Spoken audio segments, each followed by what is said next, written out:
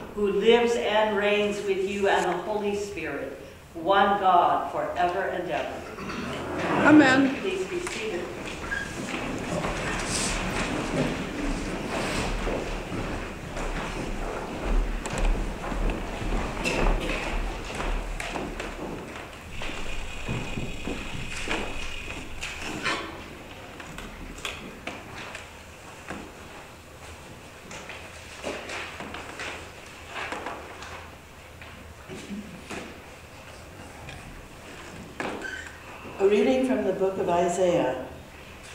There will be no gloom for those who are in anguish. In the former time, he brought into contempt the land of Zebulun and the land of Naphtali, but in the latter time he will make glorious the way of the sea, the land beyond the Jordan, Galilee of the nations. The people who walked in darkness have seen a great light.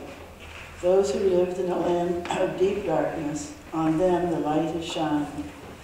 You have multiplied the nation. You have increased its joy. They rejoice before you as with joy at the harvest, as people exult when dividing plunder. For the yoke of their burden and the bar across their shoulders, the rod of their oppressor, you have broken as on the day of Midian. The word of the Lord. Thanks be to God.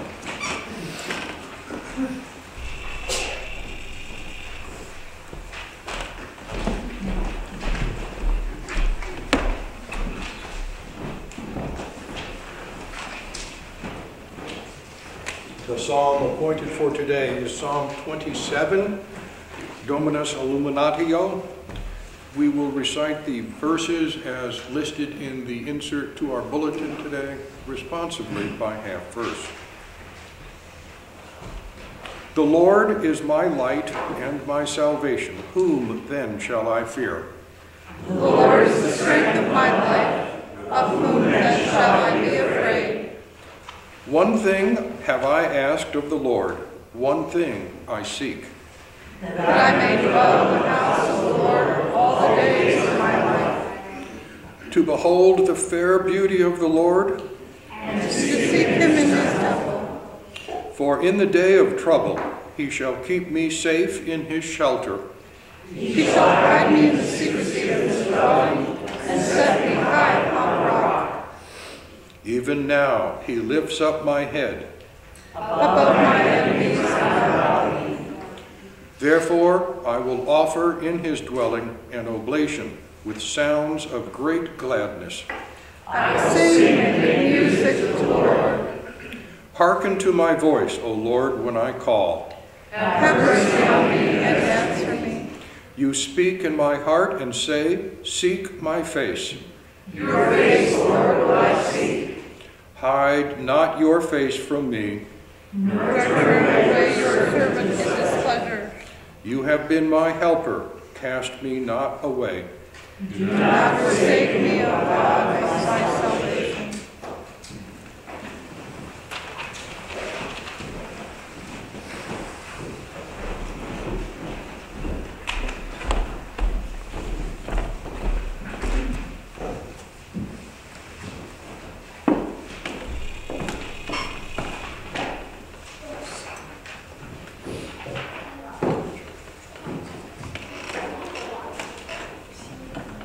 A reading from the first letter of Paul to the Corinthians. Now I appeal to you, brothers and sisters, by the name of our Lord Jesus Christ, that all of you be in agreement, and that there be no divisions among you, but that you be united in the same mind and the same purpose. For it has been reported to me by Chloe's people that there are quarrels among you, my brothers and sisters.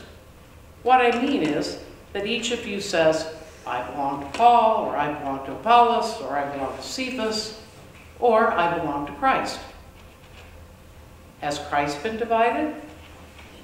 Was crucified, was Paul crucified for you? Or were you baptized in the name of Paul?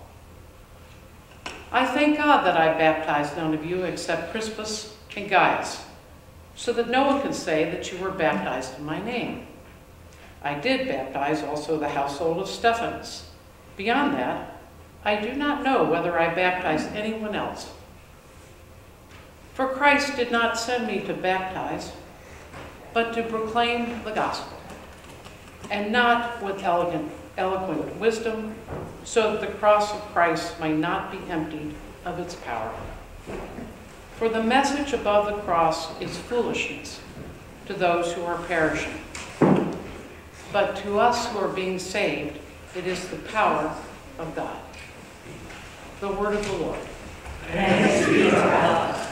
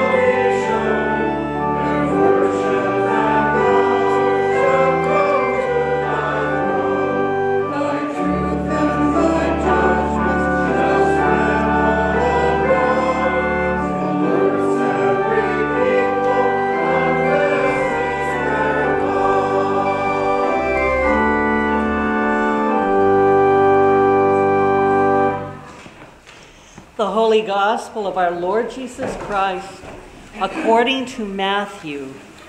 Glory to you, Lord Christ. Now, when Jesus heard that John had been arrested, he withdrew to Galilee. He left Nazareth and made his home in Capernaum by the sea, in the territory of Zebulun and Naphtali, so that what had been spoken through the prophet Isaiah might be fulfilled.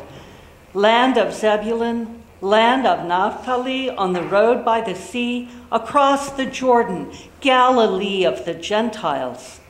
The people who sat in darkness have seen a great light, and for those who sat in the region and shadow of death, light has dawned. From that time, Jesus began to proclaim, Repent, for the kingdom of heaven has come near.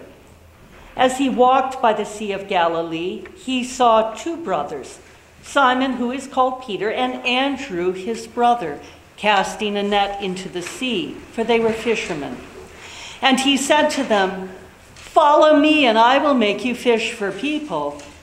Immediately they left their nets and followed him. As he went from there, he saw two other brothers, James, son of Zebedee, and his brother John, in the boat with their father Zebedee, mending their nets. And he called them. Immediately they left the boat and their father and followed him. Jesus went throughout Galilee, teaching in their synagogues and proclaiming the good news of the kingdom and curing every disease and every sickness among the people. The gospel of the Lord. Praise, Praise you, Lord Christ.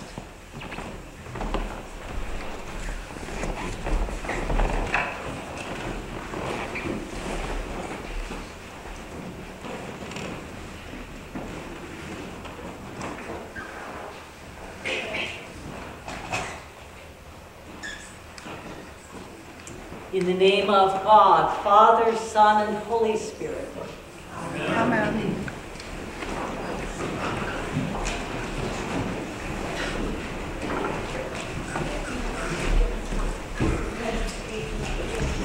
Being a fisherman is a very special way to earn a living.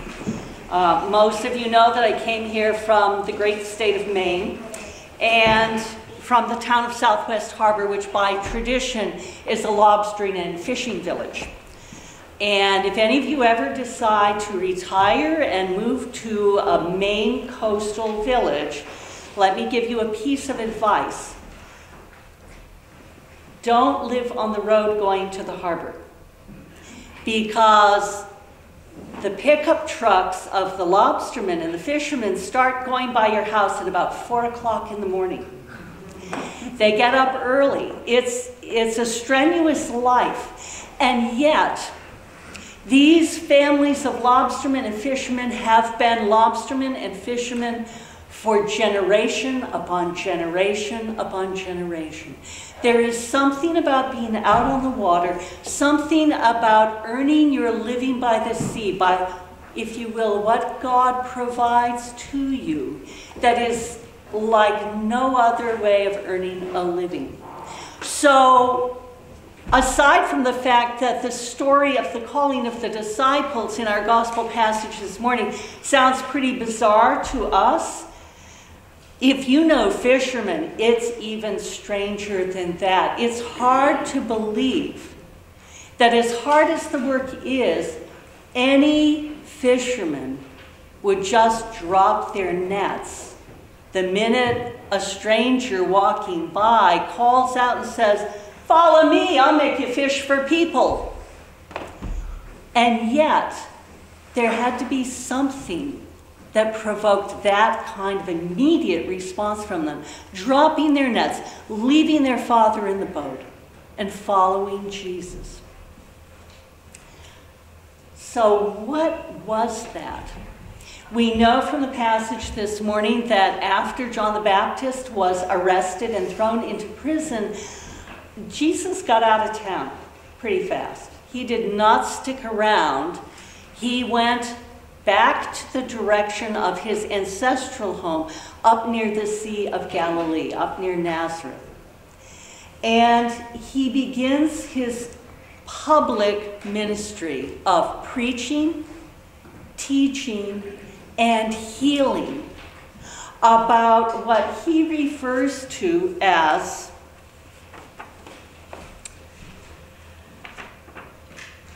repent for the kingdom of heaven has come near. He begins preaching and teaching about something called the kingdom of heaven. And this is a new expression. The kingdom of heaven is not something that shows up in Jewish scripture. It's a phrase that is specific to the Gospels, to the teachings of Jesus. Repent. Stop what you're doing. Change your life. Turn and go in a different direction. That's what repent means. He's calling on people to radically change their lives. Why? because this thing called the kingdom of heaven has come near. although the kingdom of heaven doesn't appear in the Jewish scriptures, the Jewish scriptures do talk quite a bit, especially in the books of the prophets, about someone special, an anointed one, anointed by God, sometimes called the Messiah, often phrased as God Himself coming to save His people. And there was a, an, an attitude of expectation that the people of Israel had carried in their hearts for thousands of years. And I think it must have been intensified during this time period when they are living under Roman occupation. So it begins to become a little more understandable why someone saying, The kingdom of heaven has come near, the day of the Lord is approaching, change your lives, might elicit a response in those circumstances. What about us? The kingdom of God has come near and is here now. As it says in one place in the gospel according to Luke, when the disciples are asking about the kingdom of God, as though it was going to occur at a specific point in time and in a particular place. Where is it? Where can we find it? Jesus responds, The kingdom of heaven is not here or there. The kingdom of heaven is among you. What's happening as Jesus begins his public ministry, not only of preaching and teaching, but of healing, of transforming people's lives in relationship, through relationship, is he begins something that will inevitably lead to his death on the cross. Because he is transforming how people understand who and what God is like, and He is transforming how people live in community with each other. And that applies to us just as much as it applied to those folks living on the shores of the Sea of Galilee. Follow me. I'll make you fish for people. Follow me. Repent, change your lives. The kingdom of heaven is at hand. It has come near. It is here now. And ever since that day on the shores of the Sea of Galilee, the message has been the same. When we get to Paul's letter to the folks in Corinth, we have the first indication of the challenge that I believe all followers of Jesus are faced with. I've lost track of how many different Christian denominations there are, but there are a lot. I remember driving down east one morning when I was uh, taking a, a, service down in Machias. It's about two-hour drive, and um, and sometimes the you know the further out you get, the more interesting the church names become. and this one church, um, never forget it. The the sign was something like uh, the Orthodox Apostolic Church of Jesus Christ, and, and it just it went on. The name of the church was like four lines across the sign. I didn't go check them out. But the issue that Paul was addressing in Corinth is the same issue we face today. I joke about there being, you know, Baskin Robbins 37 flavors or whatever it is, that there's a flavor of Christianity that's, you know, going to make you happy. You just have to keep looking until you find it. And yet, what Paul says to the people in Corinth, I think applies to us just as well. We need to get beyond the surface differences and distinctions that we make among our brothers and sisters in the faith. Okay, that's not my cup of tea, how they do it over there, but they're following the same Lord and Savior that I follow.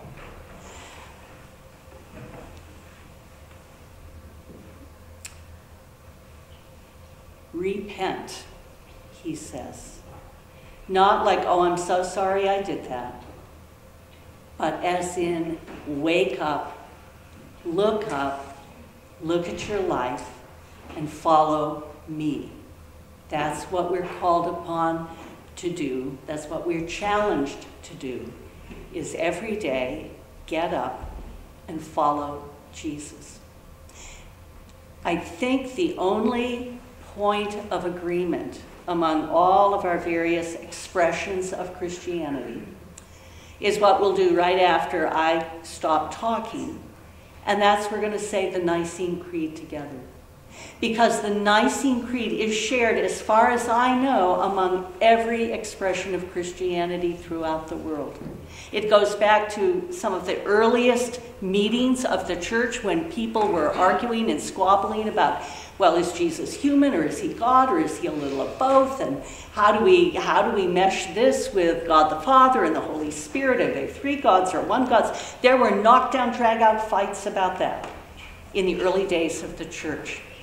But eventually, eventually, all of those folks worked through the disagreements and the arguments to come up with what we call the Nicene Creed, the very core and essence of what we believe about God the Father, God the Son, and God the Holy Spirit. And it's that core belief that we share with all brothers and sisters who follow Christ throughout the world. That is what we are called to live out in our daily lives as well. So, however you experience that call of Jesus, you're here on a, a well, the weather's interesting today. You're here on a, a, cold, snowy day in northeast Ohio when you could be home with your feet up in front of the fire or uh, having a Bloody Mary or whatever it is you do on Sunday morning when you're not here. No judgment. But you made a choice this morning to get up and to come here. To come here not just to hear me blather on, goodness knows, not even just to receive the bread and wine. But part of what receiving that bread and wine is all about is the sharing of the life of the risen Christ within us and among us. Just as Jesus called people into communion and community with Him so many years ago, He still calls us into communion and into community with one another. And that communion and community is worth dropping whatever kind of nets we are tending in our lives and following Him. Amen. Amen.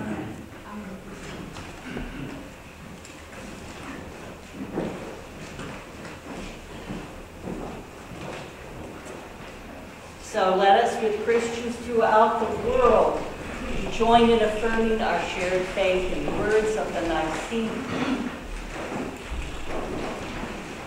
We believe in one God, the Father Almighty, maker of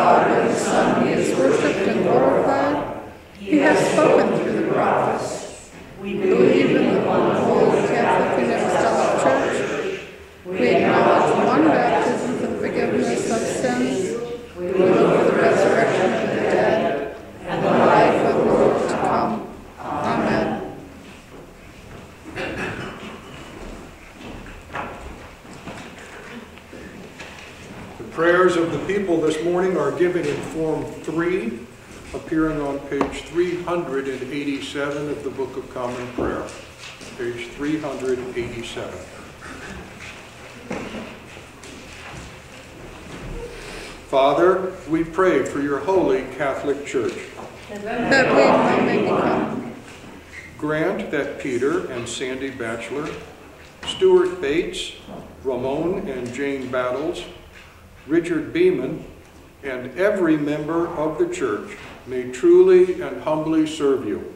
that your name may be glorified by all people, We pray for all bishops, priests, and deacons, that they may be faithful ministers of your word and sacraments, We pray for all who govern and hold authority in the nations of the world.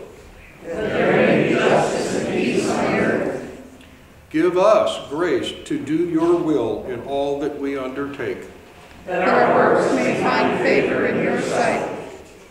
Have compassion on the people of Ukraine and all those for whom continuing prayer has been requested. Terry Donatello, Carolyn Scully family, Shirley Craig, Jan Trotter, Baz and Mona Baz and family, Lloyd Jerome, Brandon and Michael, Bill McCoy, Nancy and Bill Boyd, Jim Lamontia and family, Lou Boswell, Jim Pender, Kimberly, Mary, and Cole. Liz Russo, Mary Lou Wren, Dory and Russ Warren, Fran Myers and family, Stuart and Anita, Ted and Jane Ramsey and family, Marilyn Fisher, Jane Battles and family, Bruce and Kitty Thomas and family, Kathy, Aaliyah, Niana, and Tamia, Brandon Jr. and Carter. And for all who, who suffer from any grief or trouble. That they may be delivered from their distress. Give to Lynne and Bob Fisher and all the departed eternal rest. Let the light of perpetual shine upon them. We praise you for your saints who have entered into joy.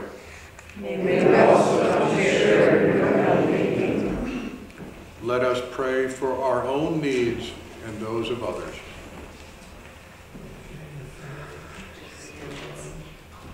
Suzanne Emerson.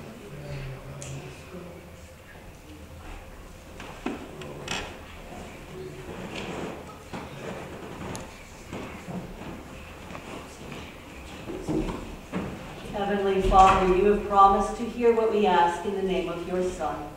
Accept and fulfill our petitions, we pray, not as we ask in our ignorance, nor as we deserve in our sinfulness, but as you know and love us in your Son, Jesus Christ our Lord. Amen. Amen. Let us confess our sins against God and our neighbor.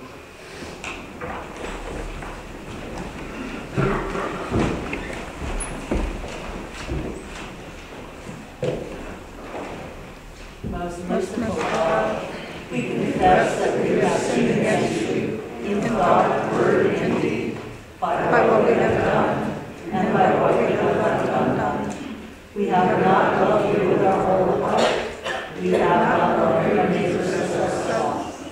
We are truly sorry and we humbly repent. For the sake of your Son, Jesus Christ, have mercy on us and forgive us, that we may delight in your will and walk in your ways, to the glory of your name. Amen. Almighty God, have mercy on you, forgive you all your sins through our Lord Jesus Christ, strengthen you in all goodness, and by the power of the Holy Spirit, keep you in eternal life. Amen. The peace of the Lord be always with you.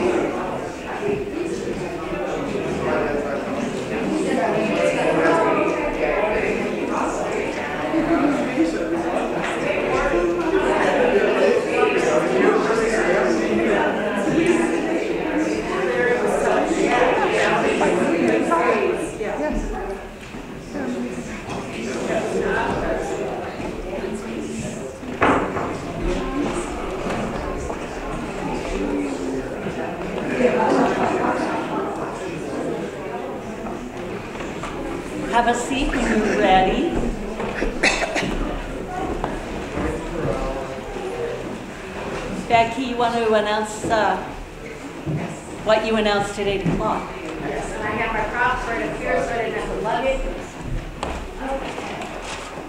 For those of you who didn't know, and for those of you who did know and still have not bought a calendar, these are 2023 calendars that uh, Randy and Debbie Cole put together. Randy did a lot of photographs.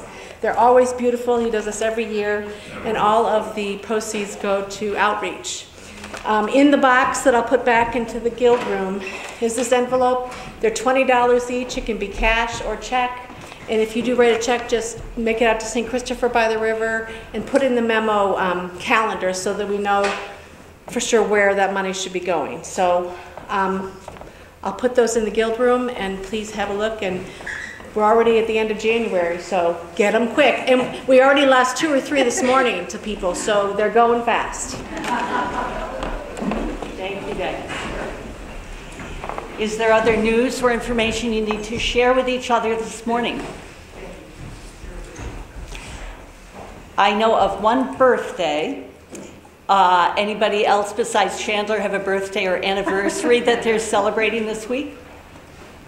You're a brave man. Come on down. You've survived all of these birthday blessings so far, so I, I figure it's probably safe. Chandler, I lay my hands upon you in the name of the Father and the Son and the Holy Spirit.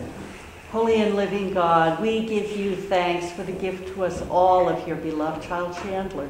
And as he begins a new year of life in your service, we ask you to pour out your blessings upon him, that your grace may fill each day of his life in this year to come, and that he may find himself ever more deeply rooted and grounded in the love that can come only from you. We ask this in the name of your Son, Jesus Christ our Lord. Amen. Happy birthday. Thank you. Happy birthday. Thank you. Yeah. Thank you.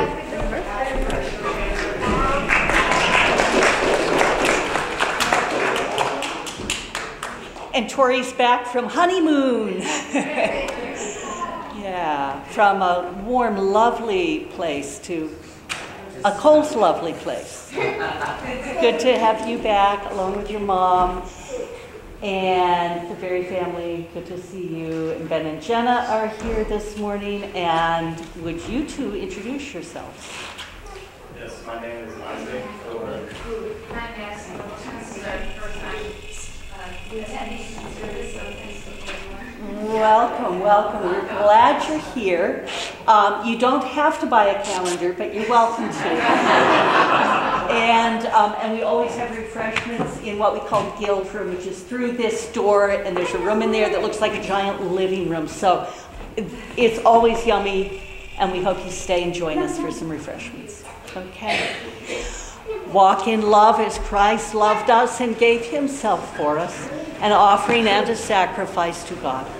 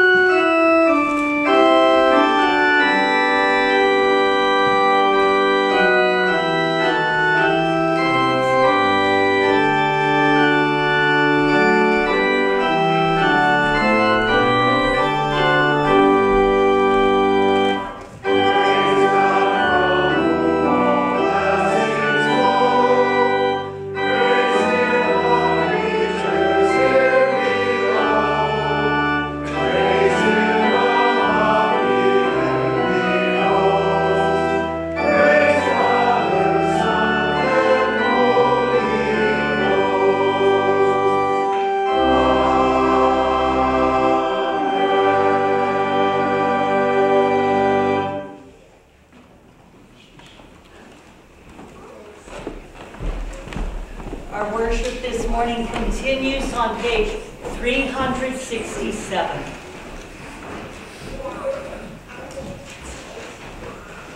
The Lord be with you. And also with you. Lift up your hearts. Let us give thanks to the Lord our God.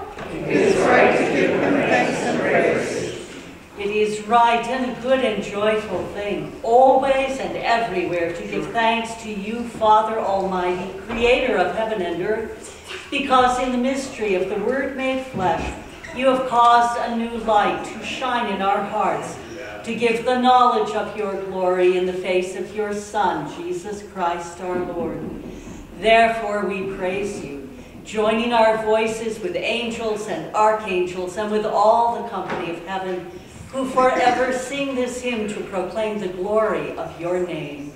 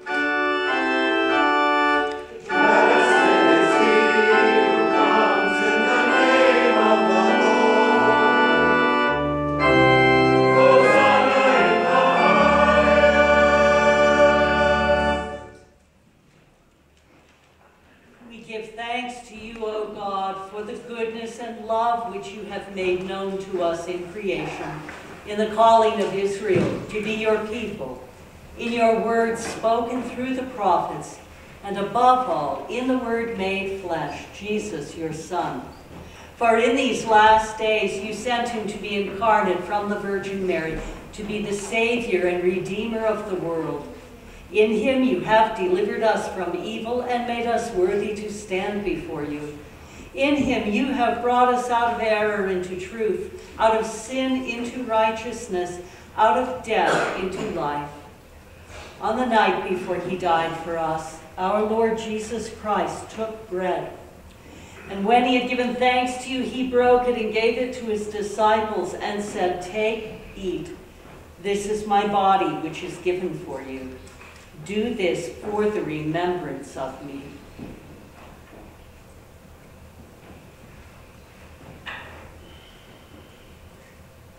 After supper, he took the cup of wine.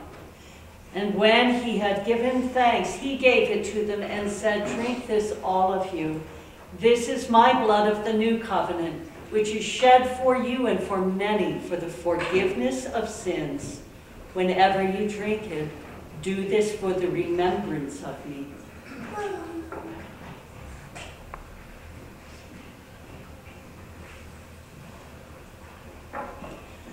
Therefore, according to his command, O Father, we remember his death, we proclaim his resurrection, we await his coming in glory, and we offer our sacrifice of praise and thanksgiving to you, O Lord of all, presenting to you from your creation this bread and this wine.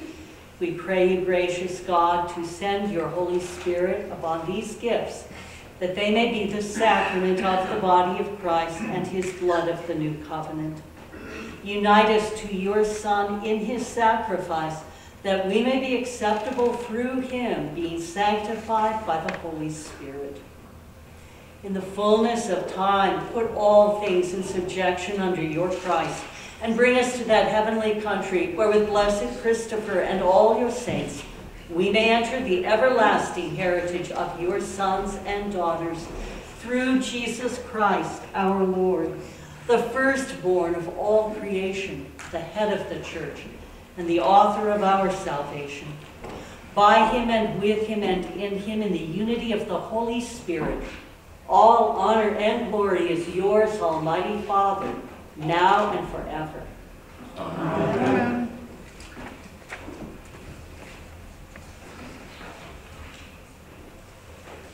And now, as our Savior Christ has taught us, we are bold to say, Our Father, who art in heaven, hallowed be thy name. Thy kingdom come, thy will be done, on earth as it is in heaven. Give us this day our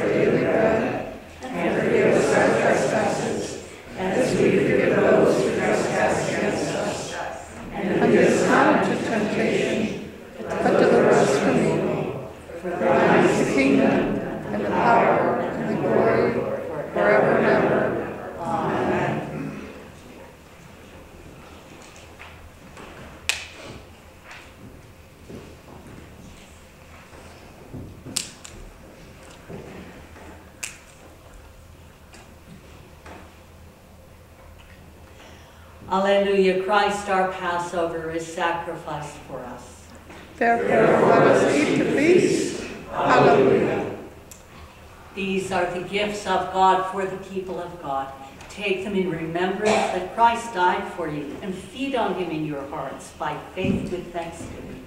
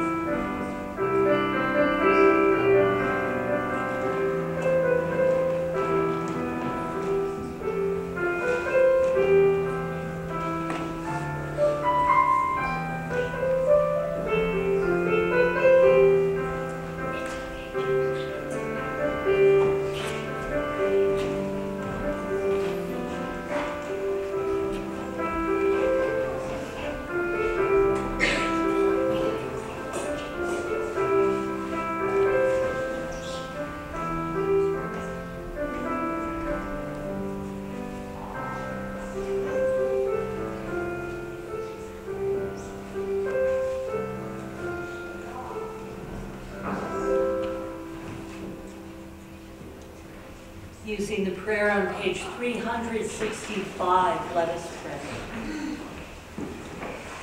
Eternal God, Heavenly Father, you have graciously accepted us as the living members of your Son, our Savior, Jesus Christ, and you have fed us with spiritual food in the sacrament of his body and blood.